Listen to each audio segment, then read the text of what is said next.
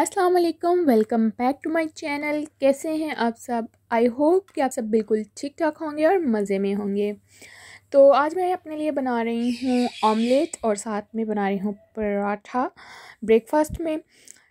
तो बचपन में हम लोग खाया करते थे ये वाला अंडा और साथ पराठा, लेकिन अब काफ़ी देर से जो है वो ब्रेड के ऊपर हम लोग थे लेकिन ज़्यादा देर तक जो है ना वो ब्रेड खा के भी इंसान को आ जाता है। और मैं स्क्रैम्बल एग को पसंद करती हूँ आमलेट में। अच्छा जी, यहाँ मेरी जो डॉटर है वो लेके आई थी क्ले तो वो कहती मेरी मम्मा वीडियो बनाए। इनका चलें, ठीक है। तो अब इससे मैं पूछूँगी सारे कलर्स, क्योंकि बच्चे जो है ना, वैसे तो कलर्स इसको भूल जाते हैं, अगर किसी भी मतलब कहें कि येलो कलर कौन सा ये को नहीं आते हैं। और कोई ब्लॉक्स वगैरह हों या कोई टॉयज़ हों, कुछ इस तरह की इनकी इंटरेस्टिंग चीज़ हो ना तो वेरी इजीली इनसे आप जो है वो मेंटल लेवल का अंदाज़ा लगा सकते हैं कि आपका बच्चा किस स्टेज पे है, क्या उसे कुछ आता भी है या फिर नहीं सीख रहा। Black. Show me. Where is white color? White. Yeah, good.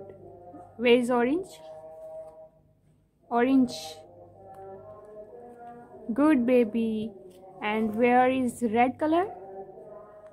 Red, red. Yeah, good baby. And where is shocking color? There is no shocking color. Okay, where is yellow? No, baby. Where is yellow color? Yeah, good baby.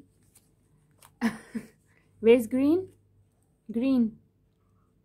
Green color. Yeah. Bad parrot colour very good so देखा आपने माशाल्लाह से सारे colours का पता है but just uh, जो है लेज़ी हो जाते हैं बच्चे और समटाइम उनका मूड ऐसा होता है कि नहीं बताते हैं। और जब अच्छे मूड में हो तो आप उनसे पूछ सकते हैं। और यहाँ मुझे वो कह रही थी कि मैंने बर्थडे करनी है, मुझे इसका केक बना दें उसको मतलब हर चीज़ में केक नज़र आता रहता है और ये बड़ी मुझे इतने मज़े की लगती है कि दिल करता है खेलते रहें क्ले से।